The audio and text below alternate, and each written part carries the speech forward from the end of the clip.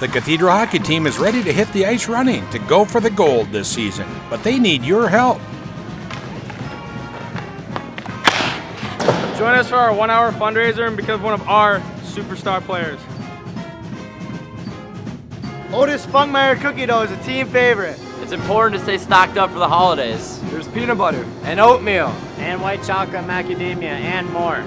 Mmm. Mmm. Yo! Great! And how about some soup? We got three flavors. Chicken wild rice.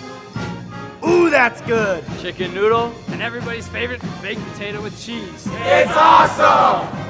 Join us for a one hour fundraiser, and if you live far, you can even make a donation.